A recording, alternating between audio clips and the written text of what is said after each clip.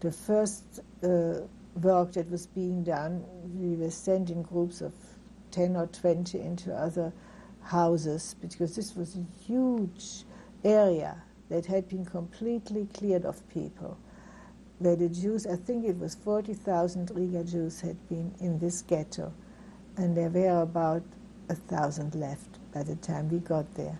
And we were set about the task of cleaning out these apartments and um, getting the uh, clothing sorted to go back to Germany.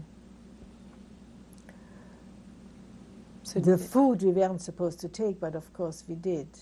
We, we were caught. That was the end of it. We were shot for these things, shot or hung. Then after that, we were sent to clean houses in the city to get them ready for the army. Or some people were maids in officers' houses. I was never that like. I worked in the port of Riga. We were working in the uh, port. We were sorting potatoes and cabbages and coal. We were unloading boats, and this was the first phase. And the Latvian people, some of them were very decent. They, without them, we couldn't have survived. I have certain instances we were there were some very strict people, and we were young. We were uh, working very hard. And one day we got, uh, we were sometimes taken on trucks to pick food up from factories. And one day we were told to get on a truck, three of us. And the truck didn't go to a factory, but to somebody's private home. And they set us down on the table, and they gave us food. And that day when I got home, my father had died. So this sticks out in my mind. And then they brought us back. There were some, without people that were decent, we would not have been able to survive at all. Even a, a sandwich if we got now and again. Mm-hmm. There were all kinds of work we did, clean snow in the streets, so passers-by would give us something.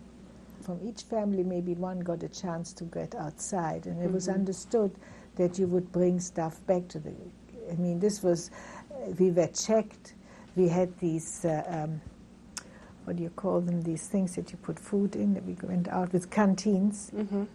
and we would bring in some soup, and in the soup were all kinds. Underneath was all kind of other food stuff that we could get.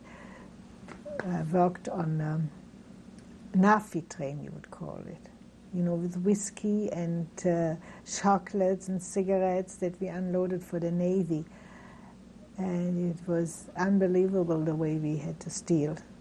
I didn't think I could ever go into a store again and not steal. We had, uh, had a coat and I had things hanging all over me. But this was the only way that we could survive there was no other way. You would people would starve. They would they would just drop in the street and would die from hunger. There was no way that one could survive. If it was terribly cold, we would go out in the winter and our breath would freeze. Our eyelashes were full of ice. Uh, our, our, feet, we had, we really didn't have proper clothing. We would put uh, pieces of material around our boots.